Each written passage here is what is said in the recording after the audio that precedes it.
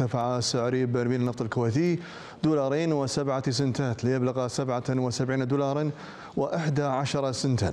وفي الأسواق العالمية ارتفع النفط في ختام جلسة الجمعة وسجل سيادة أسبوعية إذ أدت زيادة الطلب من الصين وخفض تحالف أوبك بلس للإنتاج إلى ارتفاع الأسعار رغم توقعات ضعف الاقتصاد العالمي واحتمال لرفع أسعار الفائدة مجددا. وتعززت أسعار النفط هذا الأسبوع بفضل آمال في نمو الطلب من الصين وارتفاع إنتاج مصافي النفط في الصين في مايو في ثاني أعلى مستوياته الإجمالية على الإطلاق.